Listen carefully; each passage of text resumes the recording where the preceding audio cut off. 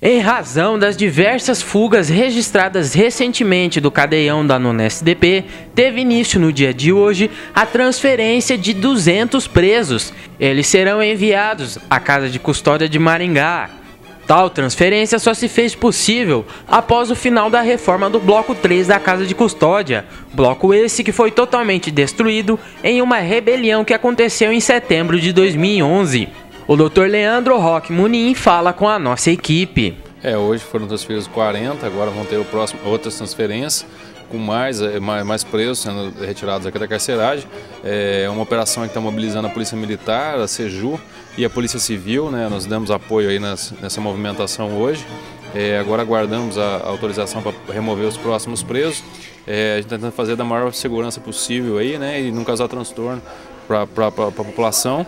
E hoje se deu tudo bem, foi, correu com a maior normalidade possível e os presos já se encontram lá no, na CCM.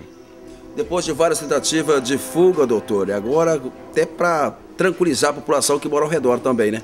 É, tranquilizar eles e dar um pouco de paz para os policiais aí que, que têm sido chamados aí constantemente fora de horário para para conter possíveis tentativas de fuga e, e, ficar sempre sobre aviso, isso também vai melhorar para nós e para que nós podemos, possamos dedicar mais as investigações né, e para que, que, a cadeia agora possa ser reformada e, e trabalhar na maior normalidade possível.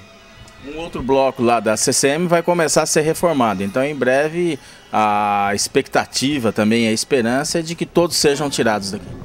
É, a gente espera, né? A questão da, das obras lá eu não posso dizer porque essa informação eu não tenho.